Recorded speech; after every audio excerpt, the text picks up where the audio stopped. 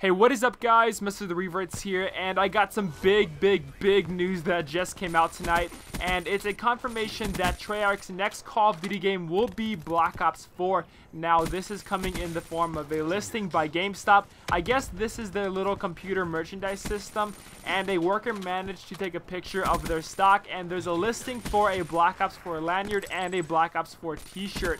I can't show them in the video because of copyright reasons, obviously, but uh, if you want to go check out the images, there's going to be a link down below. Now, uh, obviously, this is not an official confirmation by Treyarch or Activision, but the evidence does look pretty damn solid. Again, I highly recommend you go check out this picture uh, because it does look really, really legit. Now, uh, there's a lot of stuff here in this image that does involve Call of Duty, and uh, like, for example, there's a Black Ops 4 Chronicles t-shirt, Zombie Chronicles t-shirt. There's a lot of in-store products that involve Call of Duty in this picture. For example, for some reason, there's a World at War display uh, I'm not sure why, but there's a promotion for that too. Maybe there's going to be World at War Remastered. I don't know, but uh, definitely go check out this image, guys. It, it definitely is very, very interesting. Uh, so far in, in the news, that's all I've been hearing is the next COD is going to be Black Ops 4, and I, have, I haven't really heard anything else, so that's what I'm banking on. Now, in the date, it does say that this merchandise is supposed to go live in a few months, so maybe that's when we were supposed to get the actual reveal, but uh, like I said, it does look pretty solid, so go check out the image down below,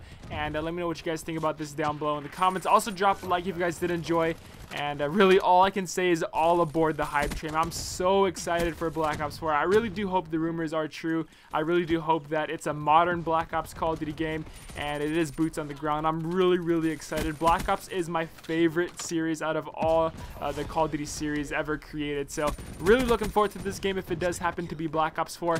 I'm going to keep you guys updated with any news information that I can find. And uh, so, yeah, all aboard the hype train, guys.